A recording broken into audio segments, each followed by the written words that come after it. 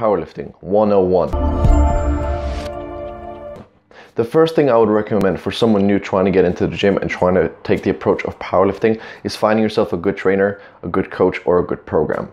Now, a coach might be expensive, so a good program would be the next option. You could look at paying an online coach or potentially starting out with some of the free online programs that exist. Something like 5x5 or Wendler 531 are great uh, programs to get started with. There's plenty of online material uh, to search for yourself to get an idea how to do the exercises, how to progress, and how to judge the weight. You will get to a baseline of about, let's say, a year of constant training, where then you want to take your training to the next level. And a basic program like that will not give you the results that you want.